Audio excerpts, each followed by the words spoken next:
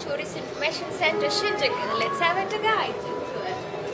So this is our travel information center. We have all the seats. You can come and have a seat. Uh, and also we have free Wi-Fi for you, unlimited internet access. Please come with me. Of course, it's a very hot day today, so you can have a drink. We have all the drinks here, and uh, whatever your taste, we have all the Japanese tea and coffee also. Anything or you can have. Okay, so have a drink, and these are our service. Please come, please come with me.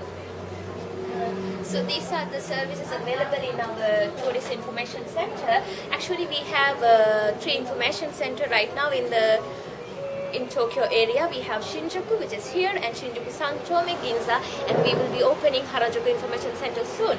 So uh, you can book all the optional tours here. We have like set of optional tours already used for us, and we have the cheapest pocket Wi-Fi in entire Japan. And you can do money exchanging, anything language support. We are like our staff, like highly qualified to assist you in uh, Thai. You can come here and see like all the things available. We have Spanish speakers.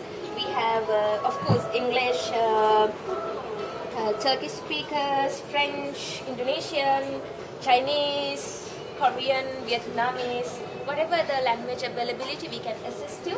And anything that you want to know, not only in Japan, even all around the world, we are ready to assist you. Come and drop by our tourist information center. Thank you.